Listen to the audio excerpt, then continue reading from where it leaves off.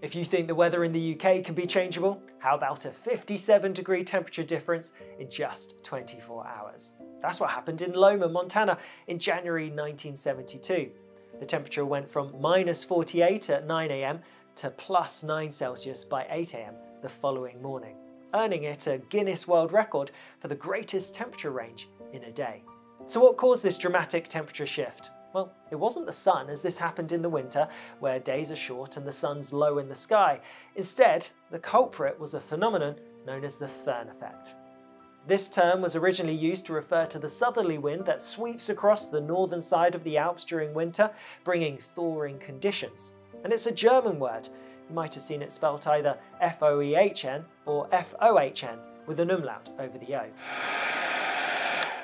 The word Föhn actually translates to hairdryer, it's a fitting name and is now a widely recognised term for this kind of strong, warm and dry downslope wind, regardless of the specific mountain range or region.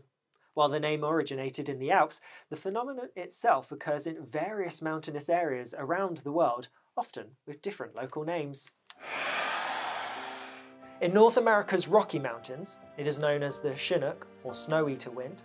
Over in Libya, they call it the Ghibli wind, and in the Andes of Argentina, it's known as the Zonda.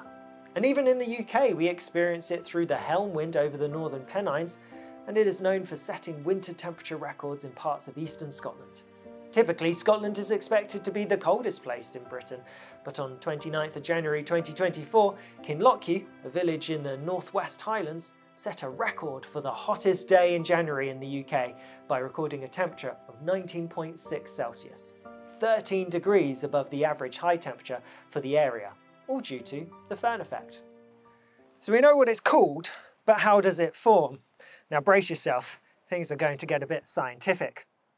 Many explanations for the Föhn effect typically stop at just one mechanism, notably the formation of condensation and precipitation over mountain tops. But in reality, there are four mechanisms which work together to shape this weather phenomenon. The influence of them varies depending on the shape and scale of the mountain regions and also the weather setup, looking at temperature, humidity and wind speed. So let's dive into this atmospheric puzzle and find out more about how these mechanisms combine to transform cool, moist air into warm, dry winds which sweep down mountains with surprising intensity. For a Föhn wind to form by any mechanism, we need two things. Firstly, the atmosphere needs to be stable, and secondly, we want moist air on the windward side of the mountain. Let's start off with the mechanism that many explanations use as the sole cause of the Föhn effect, and that is condensation and precipitation. Here is a side view of a 4,000 foot high mountain range, which is approximately the height of Ben Nevis, the highest peak in the UK. Air on the windward side is moist, with a temperature of 12 degrees and a dew point of 9 degrees. We've mentioned about dew point in some of our other videos, but to recap, it's the temperature at which air becomes saturated, meaning it can't hold any more moisture. When air cools to this point, excess water vapour turns into liquid, forming dew, fog, or clouds. As the moist air rises up the windward side of the mountain, it cools. The rate of change of temperature with height as air rises is determined by something called the adiabatic lapse rate. Generally, all air contains some amount of water vapour, but until it becomes saturated, it follows the dry adiabatic lapse rate, which is a warming or cooling of approximately 3 degrees per thousand feet. So, our air with a temperature of 12 degrees at the base of the mountain cools to 9 degrees at a height of 1,000 feet. This is the same temperature as the dew point, so now the air is saturated.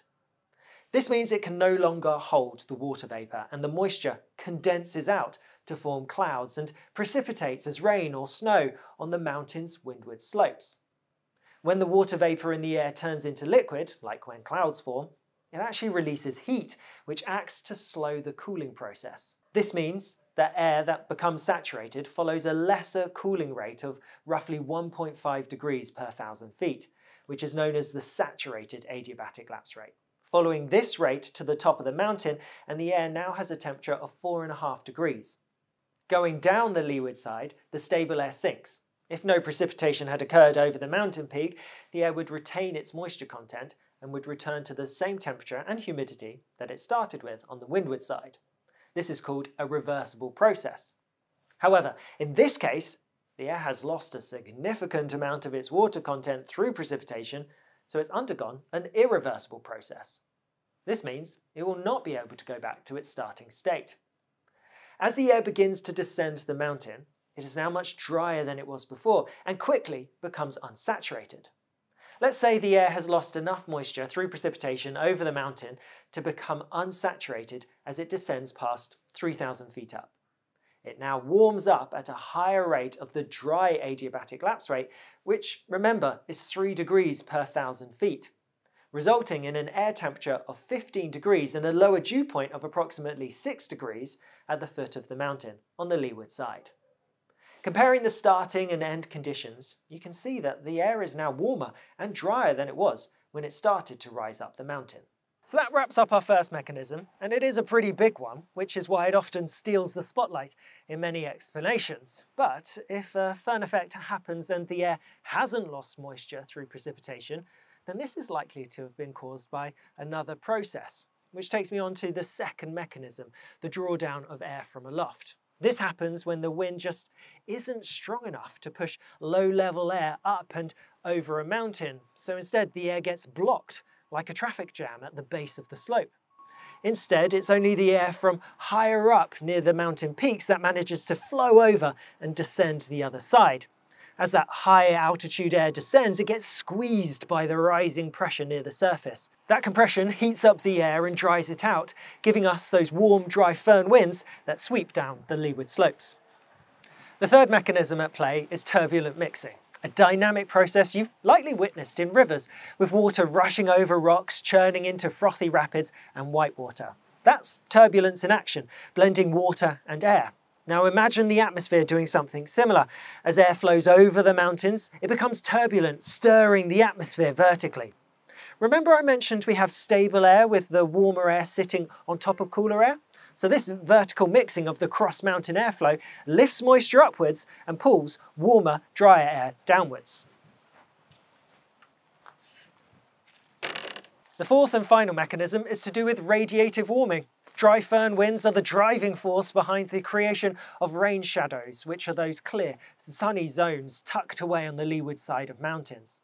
With clouds swept away due to the dry air and skies wide open, these areas soak up more sunshine, leading to stronger daytime heating. This type of warming is particularly important in cold regions where snow or ice melt is a concern and avalanches are a risk. This brings me on to the impacts of the Föhn effect. While areas under its influence enjoy warmer, drier climates and a longer crop growing season than they otherwise would, it's the Föhn's more destructive side that often grabs the headlines. This sudden surge of warmth can unleash avalanches in ski resorts, speed up glacial melt, and even trigger downstream flooding. In polar regions, it's also been linked to the breakup of ice shelves, with the Larsen ice shelf in Antarctica being a notable example of this. Föhn winds can roar down mountain slopes at speeds of 60 to 90 miles per hour, with gusts reaching over a staggering 120 miles per hour. This strength is driven by pressure differences between the windward and leeward sides of a mountain. This gradient accelerates the air downslope, increasing wind speed dramatically. Local topography can increase speeds further through acceleration over rounded summits and funneling through the valleys and gorges in the area. These fierce windstorms frequently damage property and infrastructure and pose a serious threat to climbers, especially on notorious routes such as the north face of the Eiger in the Alps.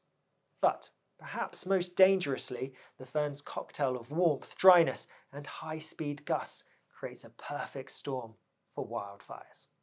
By lowering humidity and drying out vegetation, these winds can exacerbate fire conditions. A spark can turn into a fast-moving inferno racing across the landscape with devastating speed. This is what happened in Los Angeles in January 2025. Santa Ana winds are a Föhn like wind which bring the same warm and dry conditions.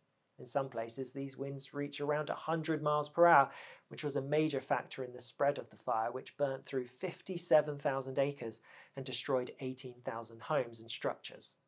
Finally, a fascinating and somewhat mysterious phenomenon tied to the Föhn effect is something known as Föhnkrankheit, which literally means Föhn sickness. Symptoms range from headaches and migraines to sleep disturbances and restlessness. This may sound rather strange, but a study done by the University of Calgary found correlations between the Föhn-like Chinook wind and increased migraine occurrences, and is one of the most cited pieces of evidence supporting the idea that rapid weather changes, like those caused by Chinook or Föhn winds, can influence neurological health.